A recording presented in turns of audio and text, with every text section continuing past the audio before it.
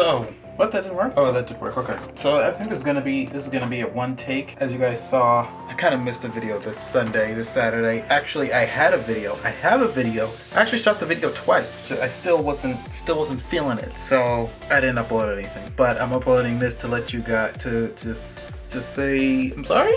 I'll either reshoot that one or maybe if I can tweak the edit a little bit, I can actually have it make sense and maybe I'll start liking it again. Yeah, sorry that I missed a video this week, but there'll be something coming out for you again this week. Sorry I missed last week, but I, did I say that's right? Okay, anyway, so let's just end this.